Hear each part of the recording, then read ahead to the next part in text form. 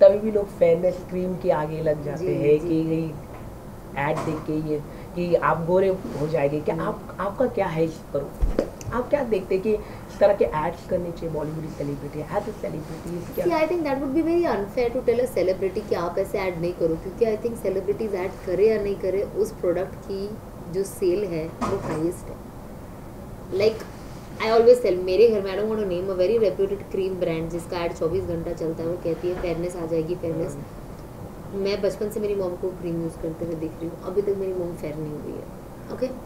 सो products का काम है उन्हें बेचना, उन्हें अच्छे से पैकेजिंग करके देना। Actors should never be held responsible, especially for this fairness cream, because whether I say or no, you are going to buy it अगर एक्टर्स कोई भी प्रोडक्ट ऐसे इंडोर्स नहीं करें people are are buying it every problem is we are obsessed with white skin why why blame the actors I would also want to become more fair than what I am today you know हर कोई इंसान जाता है parlour जाता है facial करता है bleach करता है, क्यों करता है? There is not even one woman in this world who doesn't bleach होगा पाँच परसेंट लोग होंगे शायद but 95% percent girls bleach what is the purpose of bleaching is to make your skin more clear हाँ आप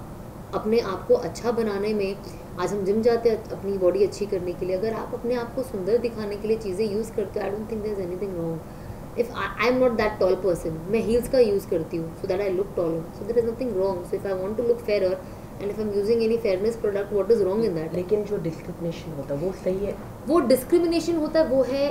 मेंटालिटी ऑफ़ सिक पीपल जो Okay. कहते हैं हमें शादी करनी है एक गोरी लड़की हाँ से ही। वो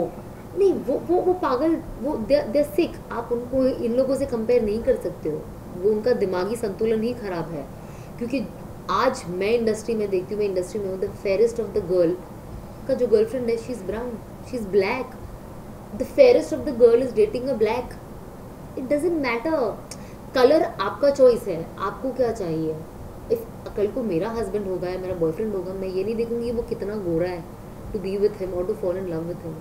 even if is black I would still fall in love with him that's my choice but अगर आप ये इतनी ऑर्थोडॉक्स थिंकिंग रखोगे और आप सोचोगे वाइट दुल्हन चाहिए I think that is sick that is not acceptable by me also that is bad but I think to each its own आप कुछ नहीं कर सकते हो। किसी का, किसी को कंपैटिबिलिटी नहीं चाहिए, आपका नेचर अच्छा हो, नहीं हो, मुझे फ़र्क नहीं पड़ता, बस आप गोरे होने चाहिए। दैट्स दैट्स अ प्रॉब्लम और ये सोसाइटी प्रॉब्लम है, ये आप कैसे डील करोगे? But that doesn't mean that actors should भी कि आप इंडोर्स मत करो. That's stupidity I feel